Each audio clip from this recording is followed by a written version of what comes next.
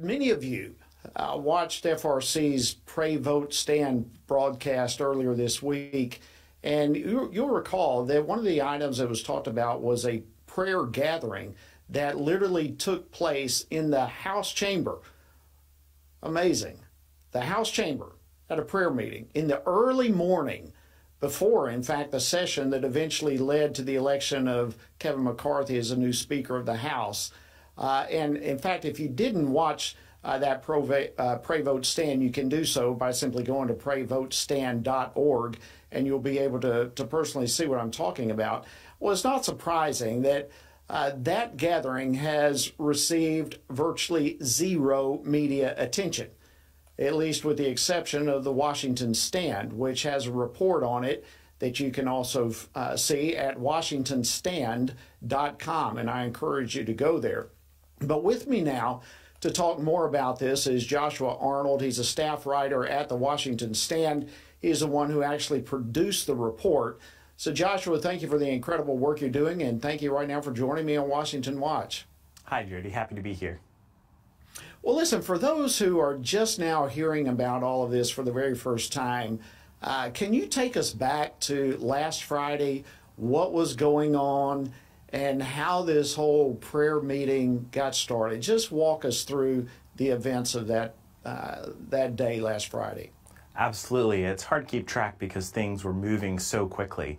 But at the end of Thursday, there had been 11 votes for Speaker, and there had been no progress toward actually choosing one. There were still about 20 Republican holdouts.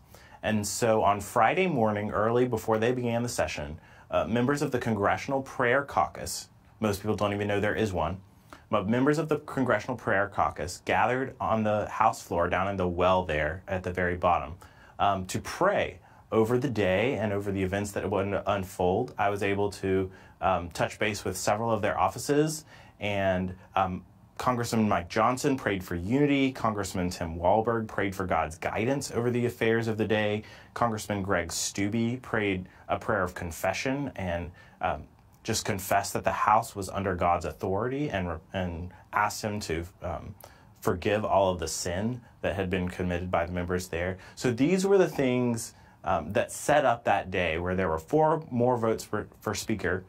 And at the end of the day, finally, we had a speaker chosen, Kevin McCarthy, who was elected on the 15th ballot.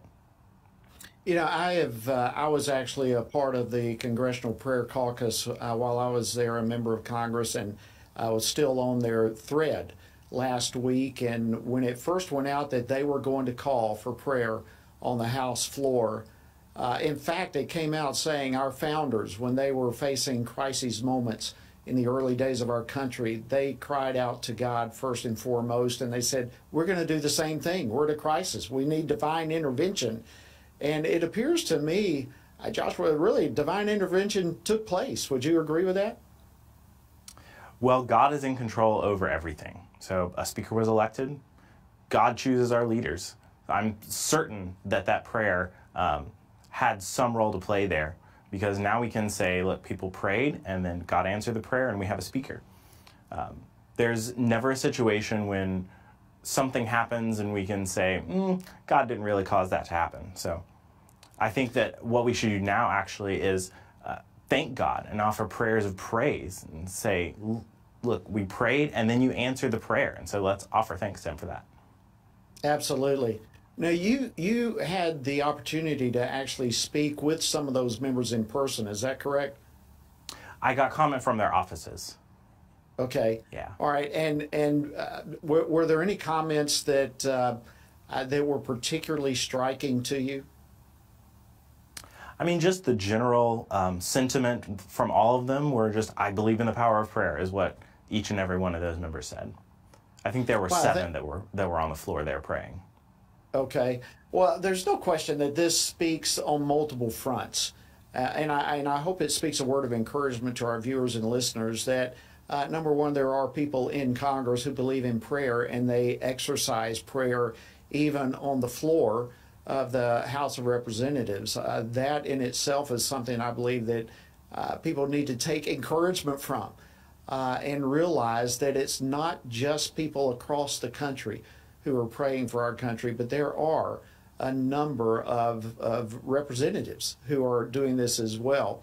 Uh, but this speaks, as you talked about, Joshua, to the whole issue of prayer and the power of prayer. And I, th- I think you're spot on right now that this calls for a time to say thanks to God for what He did. Uh, how would you encourage people right now who are watching, perhaps for the very first time, and hearing this story? Uh, what do they need to take away from this?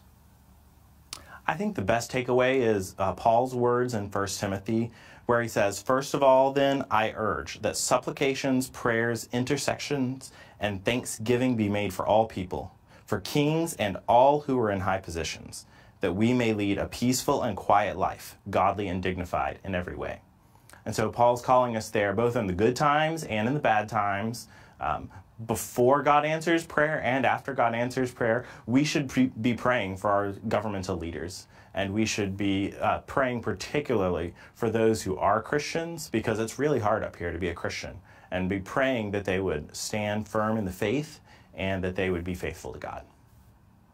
Great advice. Great advice. And before I let you go, uh, there perhaps I missed it. Uh, if I did, I did. Uh, but how much media coverage has there been on this prayer gathering? I personally have not seen anything about it. Yeah, I think C SPAN had the cameras rolling and a couple people snapped some photos, but there has not been another story on it that I've seen. Wow. Well, what, what basically in the story, the report that you came uh, out with, did, uh, did you say? And uh, again, tell people how they can uh, get hold of that report. You can find the report at washingtonstand.com. Um, that's where I wrote the piece. And essentially, it just details what went down on that day and um, the power of prayer. Um, you know, we've seen some instances of that happening in many different places in recent days in all sorts of ways across the country. The um, football player who collapsed on the field, uh, people were praying for him and then he recovered. God really does answer prayer. He really does, and I, that's an excellent point too. I know uh, I've been in many conversations in different groups of individuals who were talking about that very thing.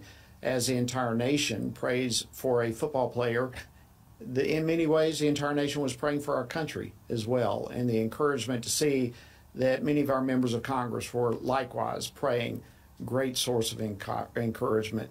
Listen, thank you so much, Josh, for joining us on Washington Watch and for all the incredible work that you do. Thank you very much. We appreciate it. Thanks, Jody.